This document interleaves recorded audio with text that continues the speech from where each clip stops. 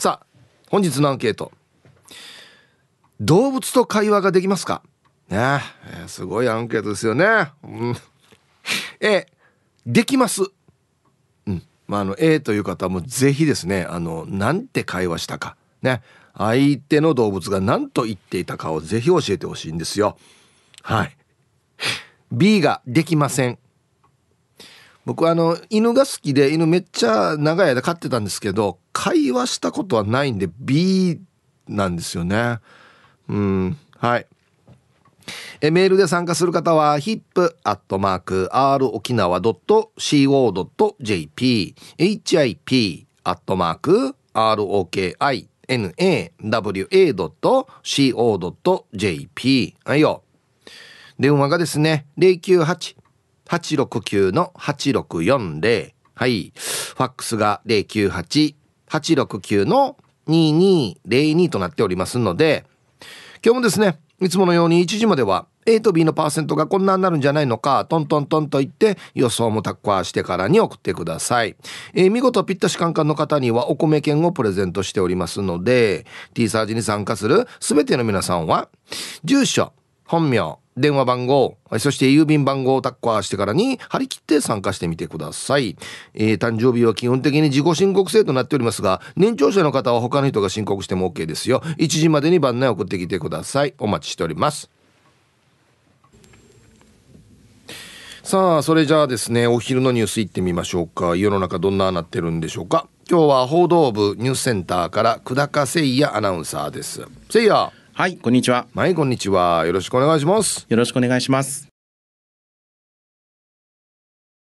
はいせいやどうもありがとうございました。せいやさん。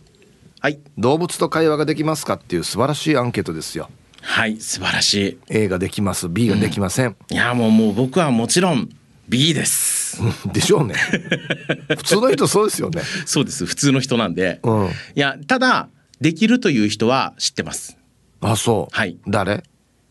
白間ありささん。ああ言いそう。はい。言いそうだよあの朝の相方ね今のね。そう今の。でなんなら、はあ、その前の相方、はい、長峰かなさんも、はあ、同じこと言ってたんですよ。えー、なななんて言ってたの？あもう分かるよって。あのこれこれ食べていい？みたいな目するって言ってて、うん、でワンワンワンワンって言うらしいんですよ、うんうん、食べていい？って。いやいやいやだから動物系のアンケートやると大体そんな感じになるんですよ。うちの子はこんなって言ってるよっつって。だそれは、勝手にごめんなさいね、はい、勝手にこの飼い主がそう言ってるって思い込んでるところないですかっていうことを僕犬飼ってますよ。ずっと飼ってましたよ、はい、僕ずっと犬飼ってました。犬大好きです、はいはいはい、犬の動画もしょっちゅう見てますが、はいこっちサイドが勝手に思ってるだけじゃないのかなって僕はいつも自問自答してるんですよ。その買ってる人の気持ちもわかるわけですよね。もちろんもちろんもちろん。だから表情とかに現れるし、うん、怒ったら、うん、すいませんっていう顔しますよ。でも、はい、すいませんって言わ言ってないさ。わかる？会話？言ってはない言ってはないよ。会話というのは、はい、だから俺がダメだろいや本当にすみませんでしたっていうのが会話であって。まあ申し訳なさそうだなというふうに見えますよそれは。見えますけど、はい、本当はどう思ってるかわからないではあるさ。あまあまあまあまあ、うん、本当はねなんて思ってるかわからないですよね、うん、ああドッグフード食べたいなって思ってるかもしれない。そう今だけちょっとなんか怒ってるみたいだからちょっとしょんぼりした封じやっといてから早くご飯食べたいなと思ってるかもしれんし まあ言ったらそれは人間無視ですけどね。そうそうですよ。そうそう。だからそしたら人間も会話できてないってことになっちゃうじゃないですか、一応ね口ではすいませんって言ってるけどね。早くお家帰りたいなと思ってるかもしれないし、ね、もう全もうよくある僕。言わんけや。結構ある。あそう。そう。うんだからそう考えるとねそう、ね、会話って何かってなるけどね。うん。だからなんかこうなんて言うんだろうな。こう建前と本音ってあるじゃないですか、うんうんそそれ考えるとあのペットを飼ってるとか動物の声が聞こえる人たちっていうのは自分に都合のいいように聞こ聞きなんていうの解釈をするわけですよね、とても便利だなと思っていて、うん、で逆に言うとこれはまあまあまああの要請をされているものであって、うん、仮にですけど、うん、自然界の動物の声が聞こえるっていう人がいたら本物だと思うんですよ。あ確かにね。そう。あ野生の鳥とかね。野生の鳥とか。ほらよくあのスピリチュアルなうんあの番組とかに出てくるうん。動物と話せる女性みたいないるじゃないですか。いる。よね。そう、んんああいう形になったら、うん。もうあのー本当に喋れるって言っていいのかなとは思ってますけど。そうだそういいこと言った。いいいこと言った。今日のポイントはね、はい。自分が飼ってない動物ですよ。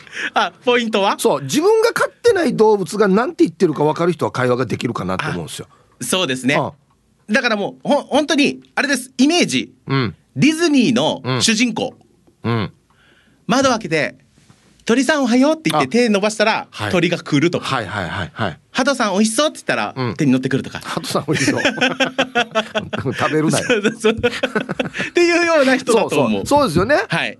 だ本当に会話ができる人っていうのは自分が飼ってない動物が何て言ってるか分かるかってことですよね。そうですね。でも、うんもしもし仮にですよ。うんぼ僕私はそうですっていうふうにいたとしたら、うんあんまり仲良くなれない気がする。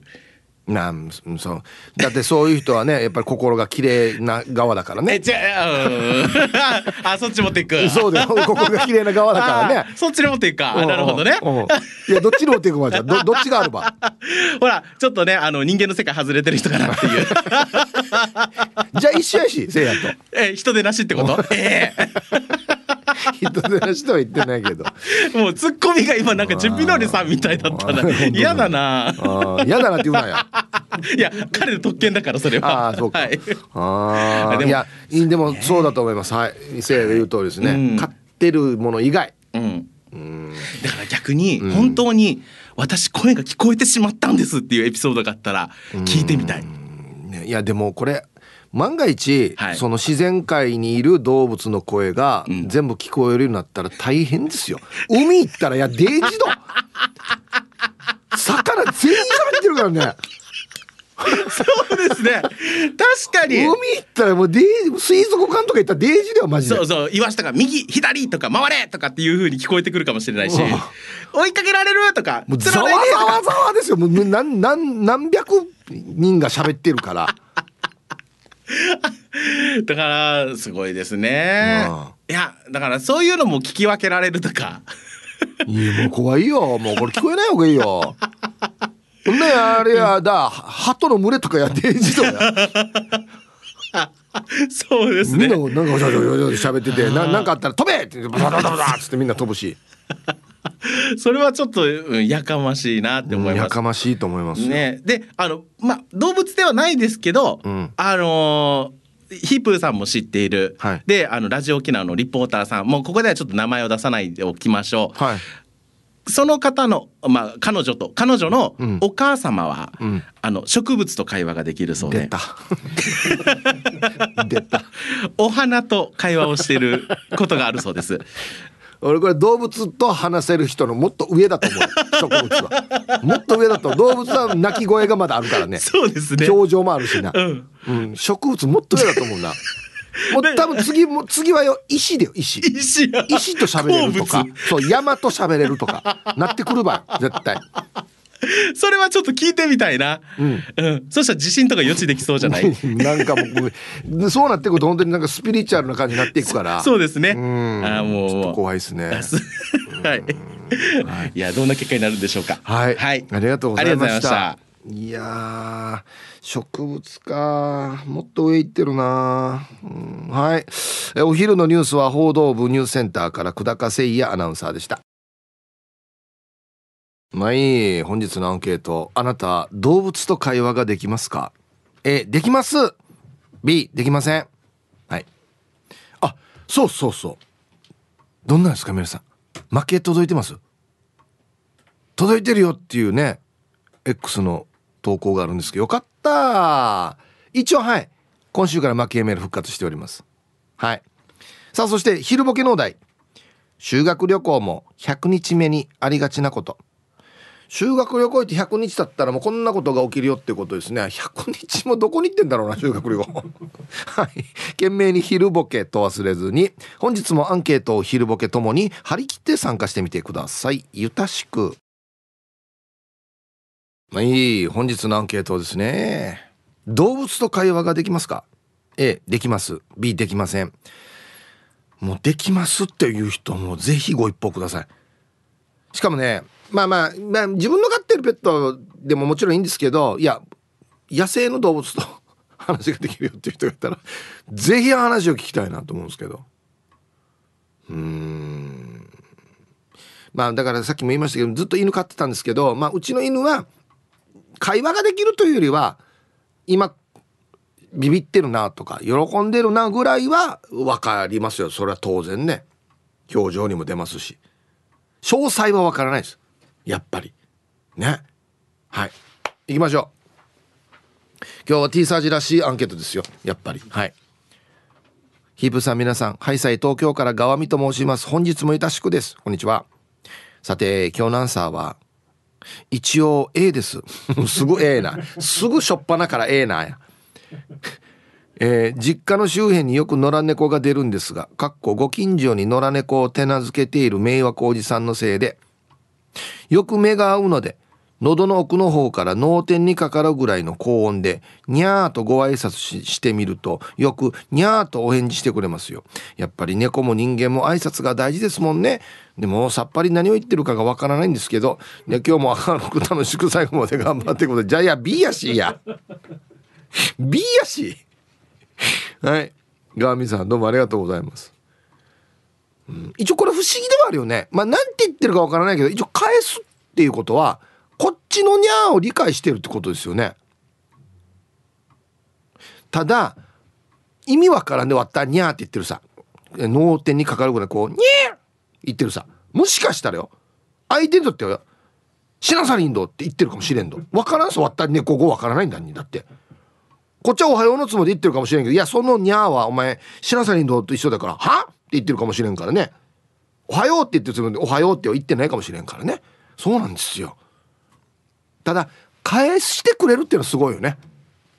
一応何かしらが伝わってるっていうことであるからね。これはすごいなと思うね。うん、はい。えー、ヒブさん、スタッフさん、こんにちは。ラジオネームリハビリエスイ調理師と申しますこんにちはアンケートアンサー A みんな大丈夫か？落ち着けよ会話ができるかって言ってんだよ会話できますワンワンと言いながら目を見つめ合っていたら言っていることが分かり合えます。テレパシーかも。本当かな。なんて言ってんの犬は。ね。はいありがとうございます。うん。でもよ考えたらよ。例えば犬だとよ。こっちね目があってワンワンワンワン言ってるとするさ。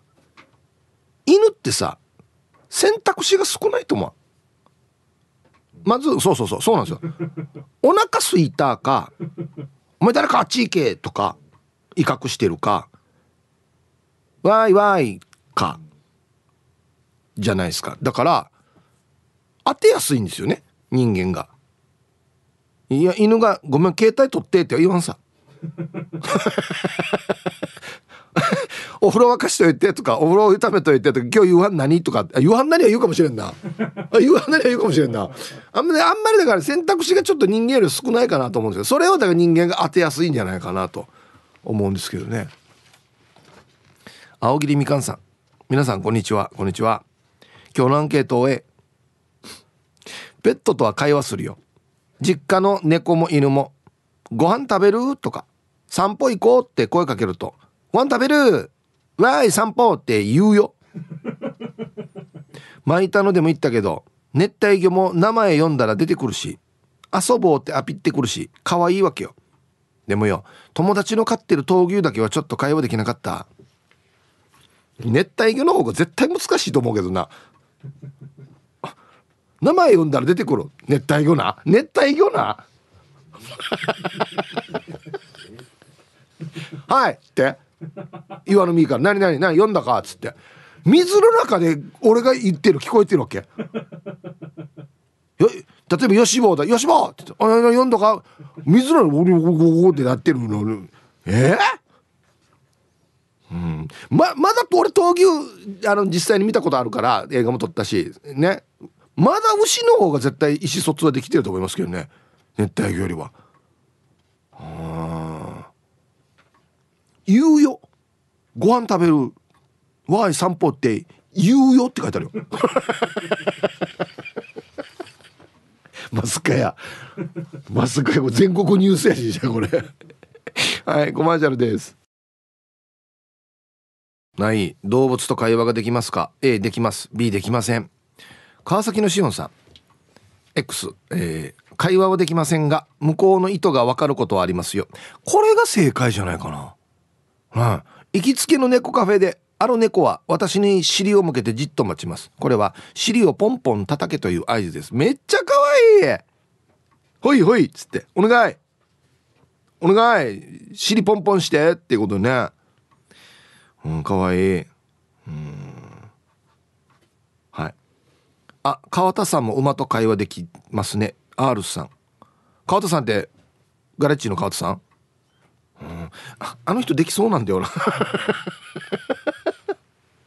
はい。いや意思疎通はできると思います。はい。会話だから「おはよう」あ「おはよう」が会話だからね。アンケート A また A だ。ペコちゃん実家で飼ってる愛犬と会話ができます。ご飯食べる？とか。トイレ行く？遊ぶ？この3つの言葉に反応して「ワン!」と返事します。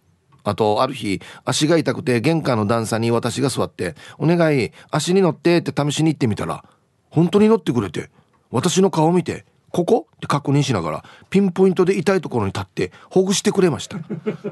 ほぐす犬。あいや。でもすごいね。こんな高度な意思の疎通ができるんだ。あでもねでさっきも言った通りあの意思の疎通は絶対できると思うんですよ。あの X 見てても。めちゃくちゃ頭いい犬がいるからね。びっくりすんだおや本当に。あいやこれは嬉しいな。うちの犬はここまではやってくれんかったな。はいありがとうございます。ほぐす。すごいね。あいいや。えでも3歳ぐらいの知能って言うからな。犬って。皆さんこんにちは。やんばる福木並木からリリリスマイルリンダです。こんにちは。今日のメッセージテーマアンサー A リンダさんは A でもいいかな。リンダは動物と会話するのが楽しみです。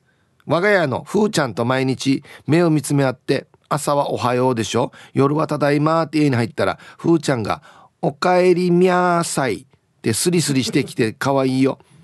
車運転中に宜野座の牧場で馬に「今日も元気?」って話したら馬はスルーしますね ピエン。では皆さん今日もスマイルで頑張るんば。うんはいありがとうございます。ふーちゃんは「おかえりみゃーさい」って言うしね。うちな口みたいだなこれな馬はスルーするしね。ほらここが大事だわけよ。飼ってるのは分かるわけ意思の疎通っていうのが。問題は飼ってない時よ。こここで宜野座の牧場の馬が今日も元気いててヒヒーンとか。なんか、前足上げてクッとかやったら「おいおいおいおいおいちゃんと意味が分かってるしさ」ってなるわけよ。ね。あでもリンダさんできそうだよ。もうちょい頑張ってみてこの宜野座の馬にも「やむしさん系」とか言ってみてまず。えー、ラジオネームヌー太郎です。こんにちは。こんにちは。えヒープーさんもう一度番組のホームページをよく見直してください。沖縄の人たちはこう考えているという傾向を探ります。まあがよ。いやいやなんで当たってるさ。当たってるよ。これで A が多かったら沖縄の人は動物と喋れる人が多いってことだよ。と思ってる人が多いってことだよ。本日のアンサー A です。A やんばや。いや A やんばや。実家に住んでた頃夜中に泥酔して帰ってくると愛犬ハッピーが嬉しそうに「へっへっ」と鼻息荒くお迎えしてくれました。ジョニー・ギノワンさんよりアゲアゲな私は飲み屋のテンションそのままにハッピーに抱きつきましたが指名もしないドリンクも起こらないデージケチ道と言われ酔いが覚めお風呂に向かいました。ヒープさん寄っていたのでよく覚えていませんがあれはハッピーが発した言葉だったのでしょうか。それとも飲み屋のトイレで偶然聞いた悪口がフラッシュバックしたのでしょうか。で本日も楽しく聞いております。いやこれ辛い思い出だなデージ。死にいや死に文句言われてるやしや。ショックすぎて脳内ですり替えかも。うん。ハッピーは別に働いてないから。ドリンクも飲まんはずだし。うん。はい。ありがとうございます。何のフラッシュバックなんでしょうかねこれね。ショックだなこれな。はい。あと1個。はいサイヒープさんゆたしくですっていうのおいらのおいものさん。はいこんにちは。より。アンサー B 皆さんよく聞いてくださいよ。話ができたら競馬で困らん。スケジュール合えばだけど一回時間作ってからに馬と打ち合わせしてみたいな。はい。おいらのおいもでさんありがとうございます。僕もこれパッと最初に思ったんですよ。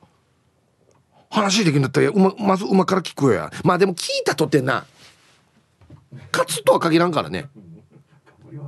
頑張るってしか言わんさね。あっしんはちゅデジ絶好調やんどって言っても勝つとは限らんから。こにゃしに調子乗るやつだなっていうのは分かるかもしれんけどね。デジ楽天かやさとかこんなの分かるかもしれんけど勝つとは限らんからね。ゴールした後もデジ「デジごめんデジごめん」って言ってくるかもしれんから馬がな「いや俺いけると思ったんだけど今日なんかやっぱデジごめんな」っつって。言うかもしれんしね。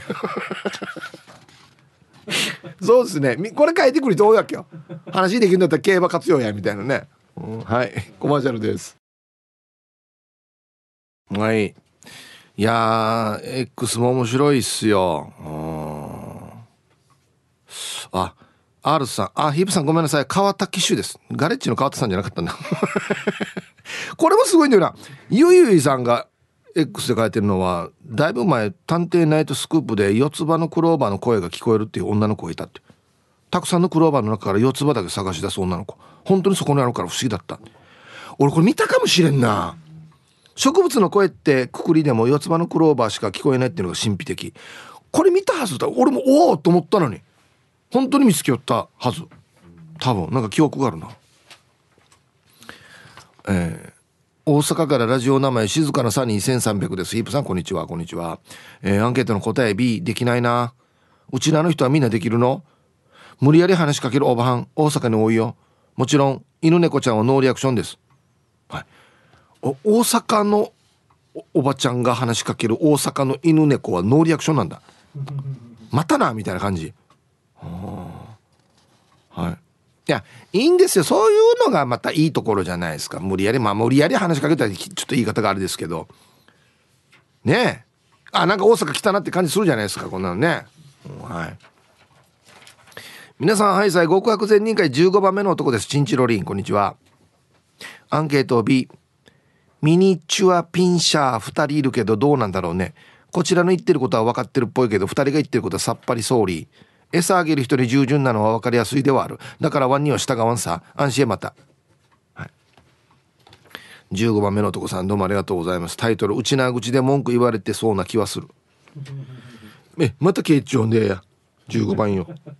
15番またけヒッチだし今回投稿日消しやって言ってるかもしれんね。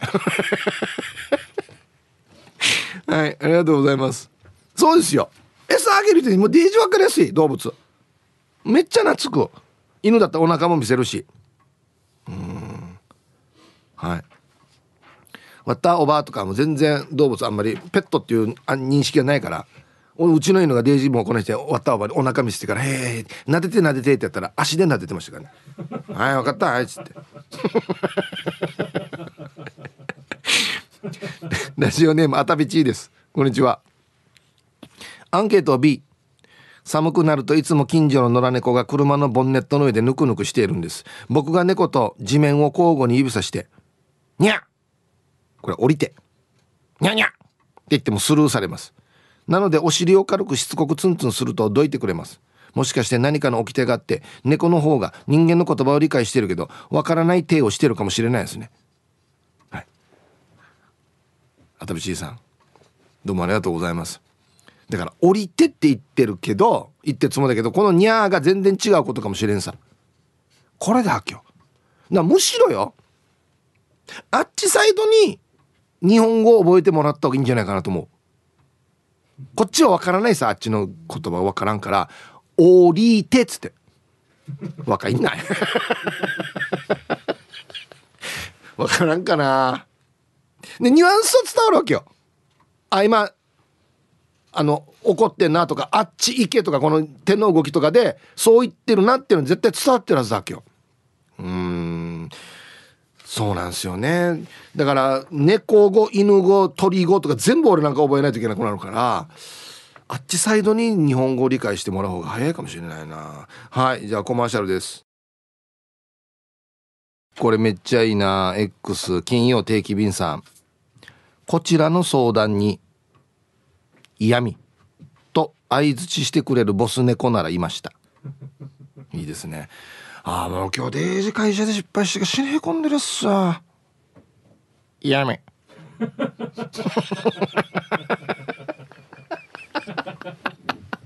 これ相談乗ってるか？一言で終わるけど。嫌味嫌味 いやこんなっぽいことは言うだろ猫。いつでも。闇。闇ではないと思うよ多分。そういう意味では言ってないと思うよ、えー、名護島奈さんヒブこんにちは。こんにちは。少し寒くなる。寒くならないと桜も咲き感 T しているよ。大事なんですよね寒くなるのね。アンサー A ヒープ私は近所に友達になった猫がいるけど夜中に出会うと遊ぶけど私が一人で喋ってるよ。大体そうなんだ 人間が喋ってるからね。ご飯食べた？君は野良？お家があるの？今夜は月が綺麗だねとか。そうすると猫もニャーンって言ってくれるので猫と喋れると思っている。ヒップ仕事から疲れて帰ってきてこの猫くんと話してると疲れも吹っ飛ぶよ。もう10年近いよ。かなり老病になってきてるよ。姿を見かけると安心するよ。はい。名護島名さん。月と読み方合ってるこれ老病で合ってるこれ老猫老猫老病。ね。うん。まあ何度も言ってますけどこの返してくれるのは嬉しいよね。月が綺麗だねめ。闇。おやつの話ちゃんとしちゃうんだよ本当に今日月綺麗闇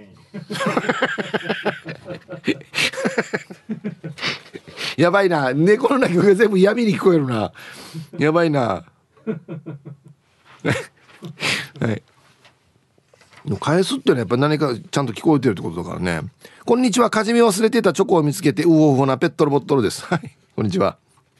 かじみて忘れていたか、えー、アンサー B 会話はできませんが長い間飼ってた犬は表情とか動きで大体わかるかも。俺もそう。いつか家を建て建てきれたらまたワンちゃん飼いたいな。ワンちゃん飼いたいな。私も優しくなれるかもしれないさなんで。じゃあコーヒーとチョコいただきながら聞いておきますね。はい。ペットルボトルさんどうもありがとうございます。そうなんですよ。僕もわかりますよ。まあでもこれもな。分かっていたつもりだったかもしれんしな。うん。はい。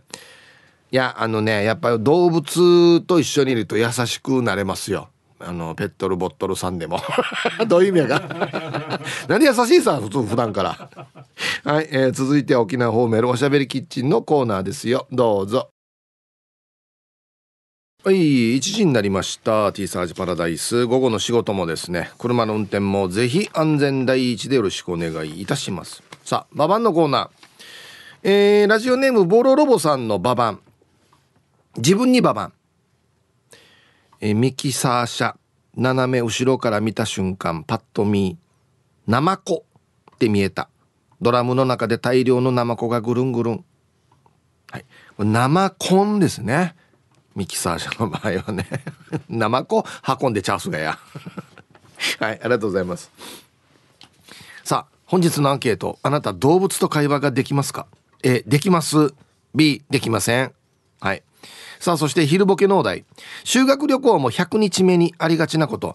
修学旅行も100日行ったらもうどうなるかっていうことですね。懸命に昼ボケと忘れずに。えー、メールで参加する方は hip.r 沖縄 .co.jp 電話がですね098-869-8640はい。ファックスが869の2202となっておりますので、まだまだ張り切って参加してみてください。お待ちしておりますよ。まあいいじゃあ皆さんのお誕生日をですね晩味化してからにお祝いしますよ。ヒープさんこんにちは。本当にたまにしか投稿しない埼玉のラジオおじいです。はいこんにちは。本日おじいの64回目の生まれ日となっておりつきましては例のあれをお願いしたくメールさせていただきました。投稿は少ないですがラジオは毎日楽しませていただいています。それとは何卒よよろしくお願いさびだはい。埼玉のラジオおじいさんどうもありがとうございます。64歳のお誕生日おめでとうございます。いやいいんですよ。うん、いいよいいよいいよ。多分聞いてくれてるってことですからね。はい。では、やりましょうかね。1月22日お誕生日の皆さんまとめておめでとうございます。えい。ハッピーバースデー。ふんほうい。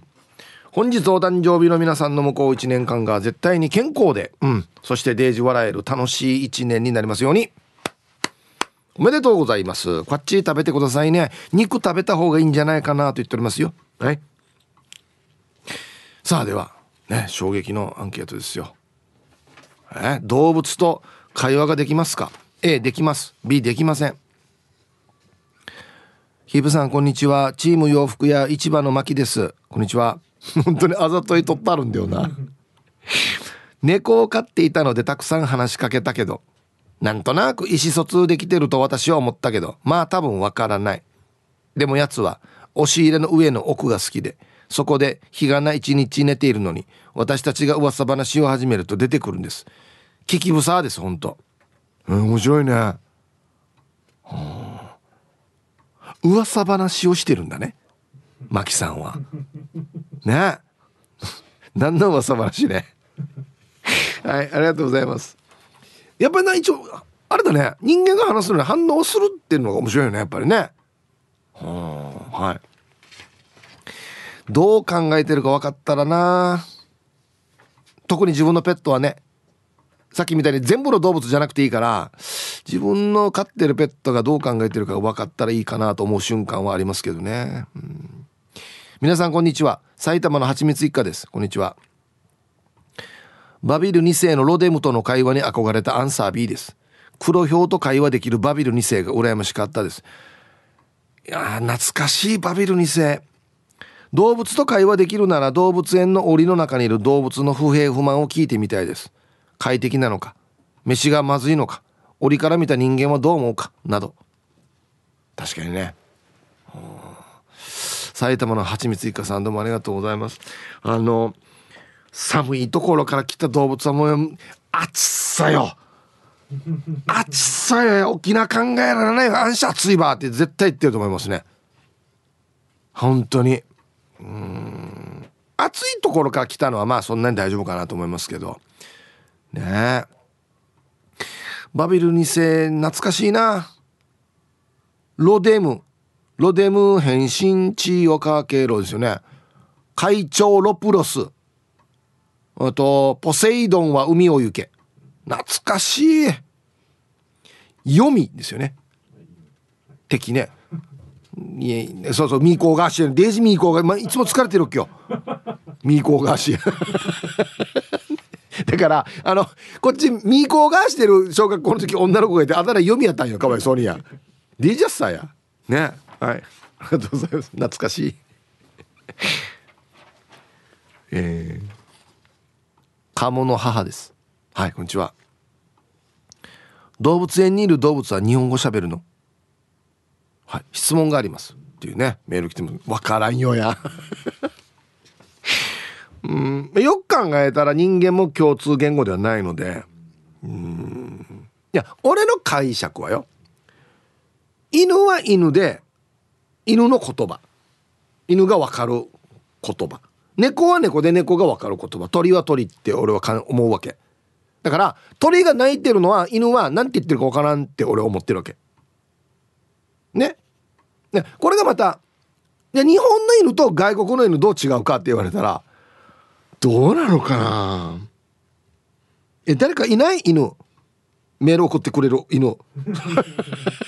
教えて。どうなっているか。うん。外でも外国のほら例えばよ外国の方がこの旅行でとかで犬連れてきたらなんか日本にいる犬とかもなんか仲良くしたりするさ。ってことは犬はやっぱり犬の共通言世界共通の言語があるんじゃないの？多分。まあ多少イントネーションがなまってるとかあるかもしれんけど。そうじゃないのかな？どうなのかな？知りたいね。そういうところね。アイラブ864の皆さんヒープさんこんにちは。人相悪うです。こんにちは。アンケート B 僕がにゃーおって言って歩いたら通報されますね。やさや。どのチラでよってなるからな。魚語は分かりませんが昔飼ってたアジアアロワナはやーさよと言いましたよ。い やいやいや。いやこれ世界のトップニュースローやアロワナがやーさよっつったらや。はい。エルザイルとクワガナーさんはかろうじて喋れましたけどね。かろうじてやんばや。はいありがとうございます。うちなぐちやんば？アロワナええー、沖縄で飼ってたらうちなぐちになるのかな？はいありがとうございます。一番魚難しいとこは水の中にいるからさこんにちはやんばる娘です。こんにちは。動物と喋れるかって喋れるよ。朝私が起きるの遅かったらご飯って言うし夕方仕事から帰ってきたら近寄ってきてご飯って言うよ。時々逃げる禰豆子は帰ってきたら入れてっつって泣いてる。ひぶさん猫かわいいよ。一匹どんな？ほぼご飯しか言わんな。もう一個しかないんだったら言うかもしれんな何種類もあったらちょっと複雑だからだけどご飯とか入れてとか、えー、撫でてとか何種類かしかないんだったらそう言ってるかもしれんな。うん。はい。猫だけは飼ったことないんですよね。またおばあが猫嫌いだったから。柱とかかかじるからって言ってた。うん。他の動物大体飼ってますけどね。それこそ犬からねもう亀からなんだ魚も飼ったし鳥も飼ったしいろんなの飼ってたね。うんはい。ひひぶさん皆様こんにちは。獅子川ブー太郎です。こんにちは。今日なんさええかな。会話できてると自分では思っているよ。隣の家で雑種の犬を飼ってるんだけどこの犬がよとってもよワンに懐いている。ワンが前を通ると近づいてすぐ足にすり寄ってくるさ。はっきり言ってこの犬は隣の飼い主よりもワンのことが好きなんじゃないかなと思っている。あんたに飼ってほしいって言ってるんだろうな。ワンは飼い主の手前よしよしとしか言わんけど心の中で今度生まれ変わったら一緒になろうなっつって松田聖子みたいに言ってるよ。いやいや古い引用三景や。もう今分からんだろこれなんか。あったなこんなの。来世でみたいなね獅子川ブー太郎さん。はいありがとうございます。うん。あんたに勝ってほしいって言ってるかな。単純にご飯ちょうだいじゃないの？多分。お願いご飯ちょうだいいや持ってたご飯だ食べようご飯って言ってんじゃないの？多分。ここのこのね動物の本音と人間のこの都合のいい解釈の作用。どうなってるかが知りたいんだよな本当にな。ショックだよねでも自分が飼ってる犬がね「あまあまのお家がいいやつさ」って言われたらね「あまあいい緊張待ちや」つって言われた新ショックださあじゃあ若田の曲のコーナーですね。うん。これごめん確認ね。こっち側って言ってたよね。は？こっちです。こっち？フューチャリングって書いてあるのにな。こっちこっちが曲名ですこれ曲名やんあ何順によ3人組ユニットですよって書いてあるけど もうこれ何人であろうか俺初めて聞くんだよなえじゃあダーダンで「花に嵐フューチャリング山」入りましたえー、ヒブさん、デイさん、皆さん、よ、よよ、よろしくいんです。よー。あ変わってる。今日のアンケートは A の A です。話せます、マジです。小学2年から犬飼ってました。でも犬限定です。犬は何でも言葉を理解しているので、余裕で言ってることもわかります。まず、人の名前は当たり前に理解しているので、かくれんぼができます。クイーンが隠れるから待っててようしたら待っててくれて、いいよと言ったら探してくれるよお散歩行く人ご飯食べる人をしたら「はいはい」します逆にわからないのは猫可愛いけど何を言ってるのか意思疎通感が分かりにくい。ヒープさんは犬とかくれんぼしたことありますか？よろしくいんでした。ないっすね。犬とかくれんぼない。多分俺犬とかくれんぼして割った犬待っとけよって言って俺が隠れてる間にどっか行ってるもん。逃げてる。多分。3度の飯より犬が好き。犬が世界一可愛いって書いてますね。相当犬派だな。はいはいするどどどんなやって？ララってララってうんでもさ本当にさまあ俺俺も犬派なんであれなんですけど犬歌うよね。わかる？歌うというかあの救急パトカー？救急車か？とだルーって吠えるんですよ。犬って。あれ何なんですかね？でなんかあの SNS の動画とかで見るとさ歌う犬。こあの主が「なんとかへんとか」って言ったら「うー」っつって返す犬。あこんなこんな犬いいな楽しいな。なんか、うん、なんか言ったら返してくれる犬楽しいな「うー」っつって。うん。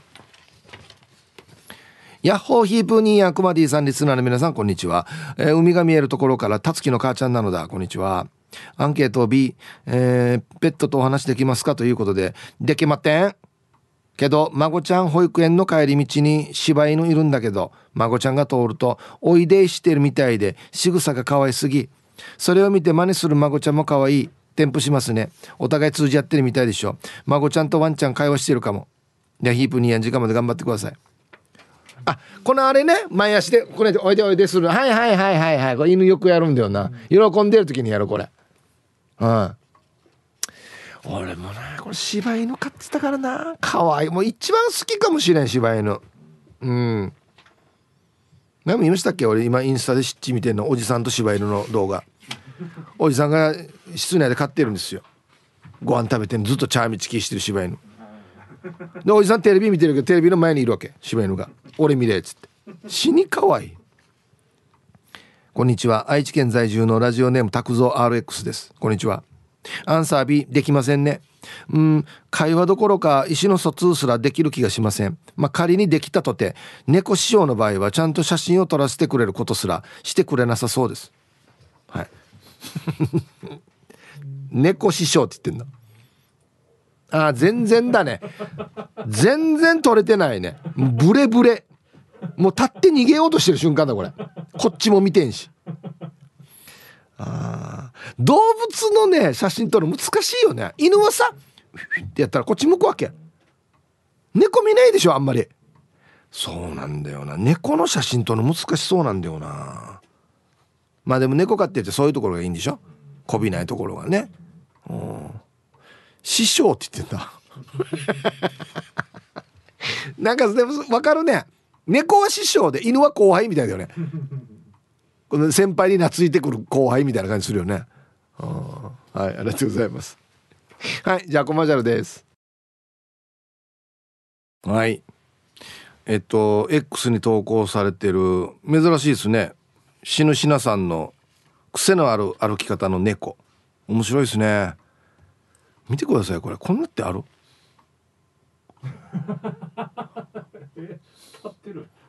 そう。一応二足歩行なんですよ。なんでよやと思って。えっとこんにちは。はい来た。猫のデコが好きです。こんにちは。アンケート B かな？あら。B なの？まだできたことないな。話してみたいけどね。10年以上前にテレビ番組で植物になんか線をつないで植物に話しかけて植物からの声をデジタル化してっていうのを見たんだけど葉っぱをちぎるとビーってグラフが反応してたよ。え？今はだいぶ進んでるから話せる機器欲しいね。えー、反応が出るんだやっぱり。まあ生きてるからな。ねえ。痛いって言ってんのかな。取るなって言ってんのかな。ねえ。はいありがとうございますもう動物も聞こえて植物も聞こえてきたらもう大変よ。植物なんてどこ行っても生えてるからね。これの声聞こえてきたらもう大変だよマジで。会社の玄関にある木が「え焼け遅いよ。もうみんな来てる。やちこくれんのや」つって「ね雨降ってたあ？つって混んでた」とか。ねはあ。ヒブさんこんにちは。マッツンです。こんにちは。アンサー B 会話もできないけど釣りしている時の魚に「はい美味しい餌撒いてるから食べたらいいさ」とか「えなんで食べん？頭いいなお前」ってドゥチームにはありますよ。じゃあ今日は休日返上で前撮り前の衣装合わせと打ち合わせやってきます。あ披露宴か。はい。えータイトル「筋肉とは会話しますよ」なんてやってればどの筋肉だろどんなかや？ムキムキ。っつって。なんて会話してれば大きくなれ大きくなれって。もういいよ。大きいのにも。うちゃっさくてやくとや。はあはい。ありがとうございます。釣りしてる時のこのセリフは言うな。食え。早く食え。つって。いや食べる時間やさにや。とかっていろいろ言いますよ。やっぱり。はいまたもう休み今。いない今。魚いない今とか 言ったりします一応。本当に。特にあの岸から釣る時よ。必地を引かんからよ。今じゃないわけ？とかって。こんなどうちもねやろうな。確かにな。ちにちに「あ来たんじゃない？来たんじゃない」とか言ってね。一人で言ってんのに。イブさんこんにちは。ポロリーマン大学の動物言語学部教授のコケコッコちゃんです。あれ？ポロリーマンじゃなくて？どっちよ？アンケート B です。まだ B なんです。修行が足りてません。動物に興味が浅いからだと思います。機械とは会話をできますよ。壊れた機械に「どこが痛いの?」とか調子が悪い機械には「もうちょっと頑張ったら休ませてあげあげれるからね」と言うと持ちこたえてくれます。やばさよ。やばさよコケコッコちゃん。はい。のが動物言語学部教授じゃないわ。はいありがとうございます。まあ価格的にどうのこうのじゃないですけど確かによく言うのが車買い替えようやつってた車壊れたりするっていう話を聞きますよね。ヒンチするっていうね。本当にあるあるなんだよな、うん。ヒープさんリスナーの皆さん今日も真面目に仕事中。うるま市の怠け者です。こんにちは。今日のアンサー B できない。犬からはいつも吠えられるから動物苦手かな。その代わり焼肉の肉とはできます。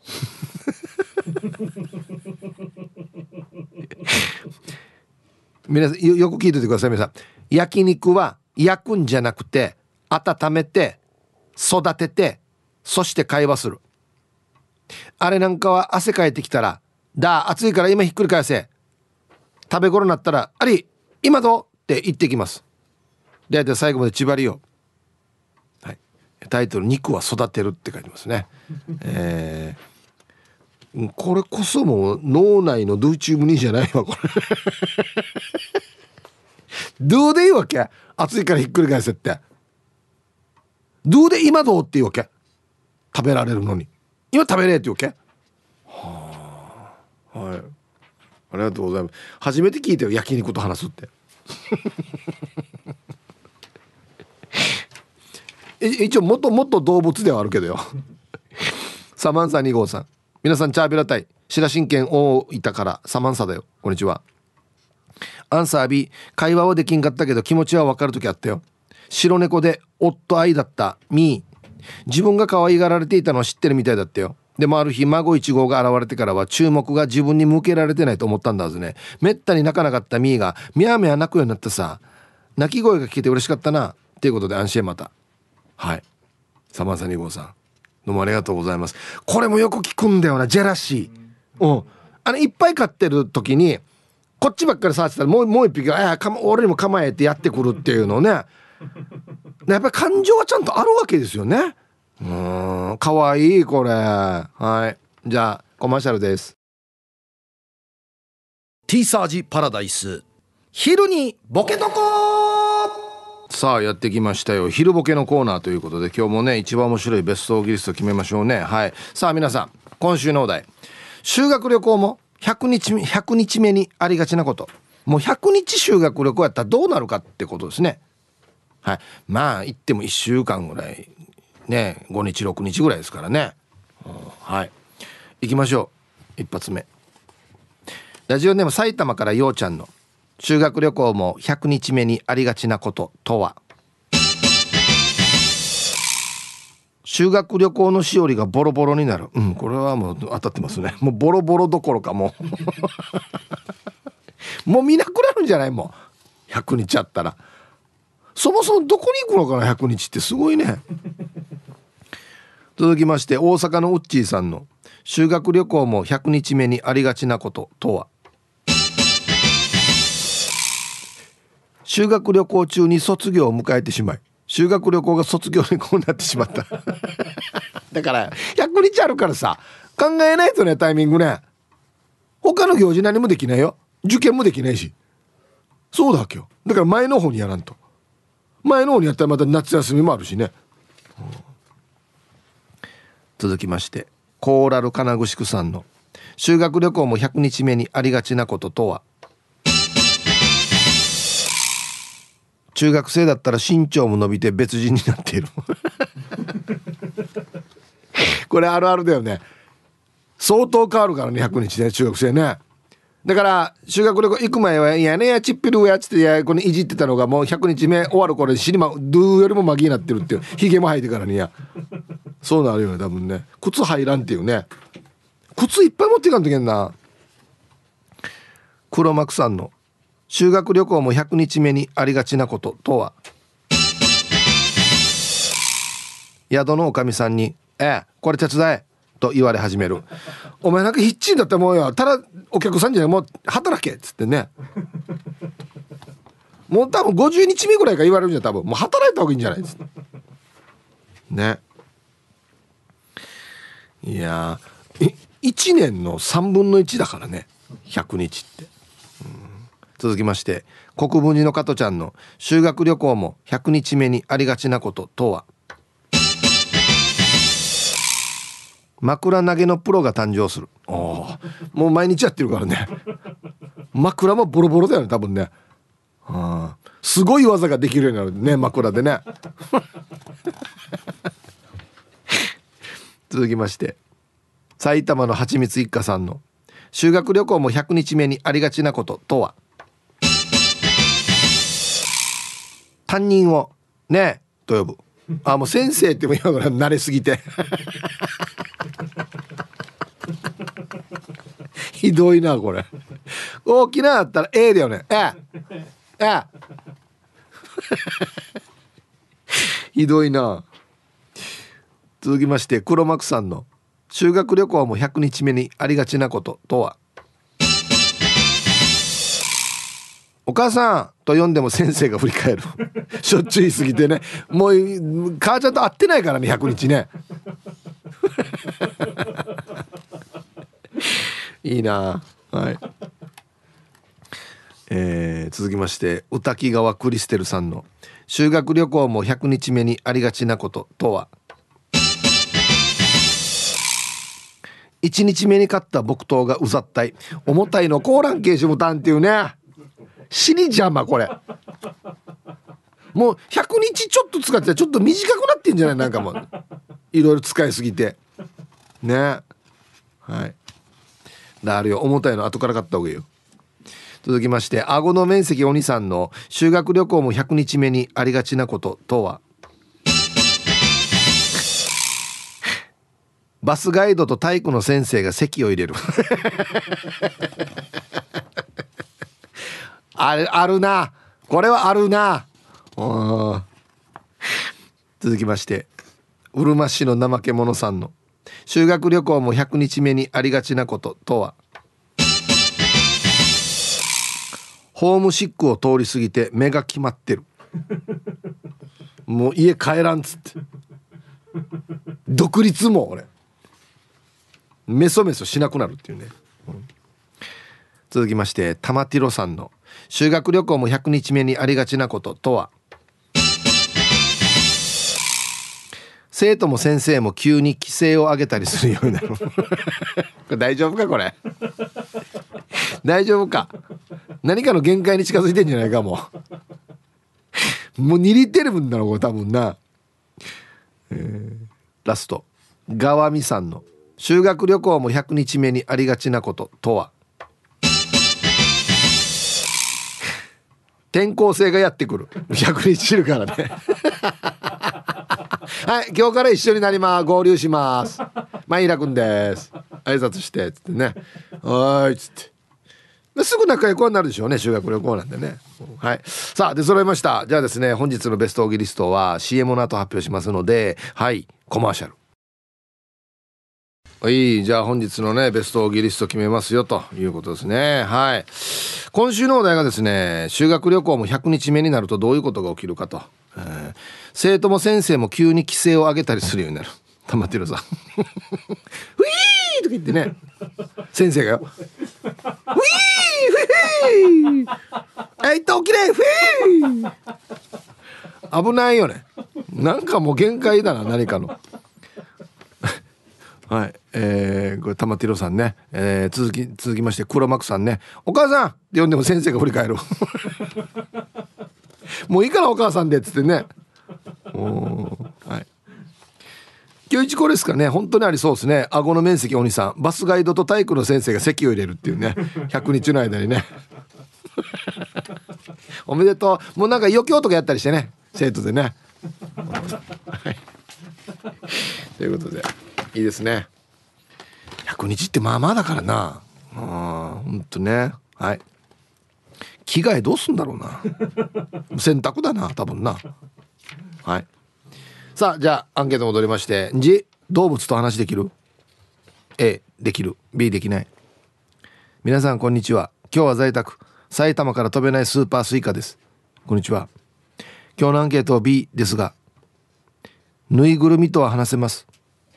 ぬいぐるみは私がなくさない限り裏切りもしないし全工程で私を認めてくれます。世界で一番の理解者はある意味ぬいぐるみかもしれません。ちなみに妹もぬいぐるみと話せます。じゃ妹と話した方がいいやんにもっと。そうだね。ぬいぐるみは裏切りはしないな。ぬいぐるみの裏切りって何ね他のところに行くってこと？お家が出ていくってこと？それと可愛くなくなるってこと？反抗するとか。どっちにしろ怖いけどなぬいぐるみ反抗したら。へえなんて話してるんだろうね。今日会ったこととか話してんの？もしかして。あまあそれでねストレスが解消するんだったら全然いいですけどね、うん、はい。タイムフリーはタイムフラーさん。はい。えー、面白すぎる皆さん、えー、ヒップさん。土曜日はオリジン芸人さんの石川県へ届けチャリティーお笑いライブ行きました。あありがとうございます。心が弾み面白くてめっちゃ笑ったので目尻の笑いじわが増えましたよ。私自身も元気をもらい心ばかりの募金をさせていただきました。ありがとうございます。あとね注目の芸人さんが増えました。寿パンチさんの声は石川県に届くぐらい元気で上等だしプーキーさんの手の可愛さにキュンとしちゃいましたよ。寿は死にっ声でかいからな。うん。さて本日もお手柔らかに参加させていただきますのへ今朝も家の駐車場に止めている車の下に猫が寝ていたんですね。私は「はいおはようさん。朝のパトロールお疲れさんね。次は私が車に乗ってパトロールに行くからあっちの方に移動してね」と声をかけると猫は私の足元をスリスリした後にのっそいのっそい歩いて庭の方へ行きました。あがり目さあがり目ぐるっと回してにゃんこの目パラダイス!ではヒープさんスタッフさん目白が桜に止まる時期もそろそろですね。はい。タイムフリーはタイムフラーさんどうもありがとうございます。割と長文話しかけてるね。はいおはようさん朝のパトロールお疲れさんね。次私が車に乗ってパトロールに行くからあっちの方に移動してね。ね。猫には何て聞こえてんでしょうかね。うん。はい。これ一回試ししてみて。なんかもう全然違う言語で話しかけてみて。なんかパピピテプテパタパプトパトパパイ今日って言ってみてこれで移動したらもう何言っても移動するってことだからね多分